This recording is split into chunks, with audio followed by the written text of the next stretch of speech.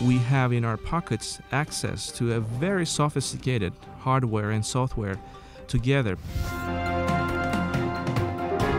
This is UCLA Newsweek. This time on Newsweek, researchers from UCLA have been leading the charge to bring healthcare to poor and resource starved countries using an unlikely tool, the cell phone. The team, led by UCLA engineering professor Aydogan Ozcan, has already developed lightweight, inexpensive cell phone microscopes. So, if you could have tiny uh, microscopes that could fit into your pocket and be connected to a cell phone, uh, then you could potentially bring these microscopes and whatever they have been used for to remote locations to, for instance, diagnose disease. We have more than um, 4 billion cell phone subscribers today, and every year we manufacture on the order of a billion new cell phones. So that means uh, because of that volume, we have in our pockets access to a very sophisticated hardware and software together. So that could really be leveraged to bring new microscopes. In their latest advance, they've created a cell phone based flow cytometer, which can be used in the field to rapidly image blood and other bodily fluids to check for infections and cancers, and monitor the progression of HIV and AIDS.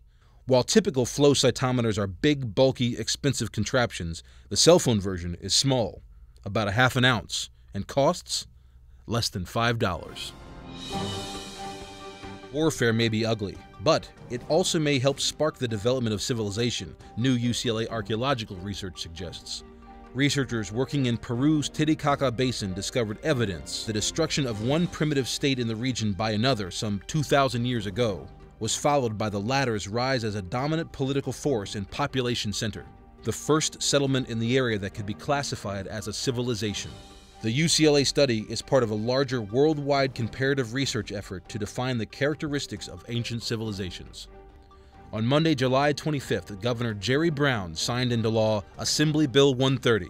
This historic legislation opens the door to undocumented immigrant students attending UCLA and other state colleges and universities to become eligible for private scholarships funded by donor provided gifts and endowments on hand for the historic signing, which is part of the California DREAM Act, were Chancellor Gene Block and other staunch supporters of this bill and others that would remove barriers to higher education to undocumented students. For more on this and other stories, visit the newsroom at newsroom.ucla.edu and follow us on Twitter at UCLA Broadcast.